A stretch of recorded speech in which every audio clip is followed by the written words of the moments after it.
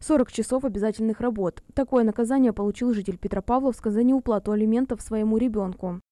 Нерадивый отец напрочь забыл об исполнении своего родительского долга и накопил задолженность в размере 588 тысяч рублей.